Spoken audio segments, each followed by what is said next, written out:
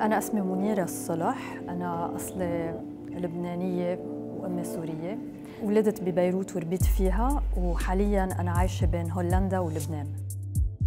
أعمالي الفنية مرتبطة بالحياة اللي بعيشها بالأشياء اللي عشناها بلبنان أيام الحرب بس كمان من بعد الحرب.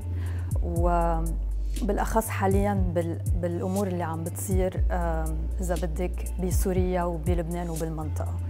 وبنفس الوقت بشتغل كثير باللغة العربية وبتفكيك الحروف أو محاولة فهم المعاني وراء الحروف إذا بدك واللعب على الكلام من هالناحية بنفس الوقت.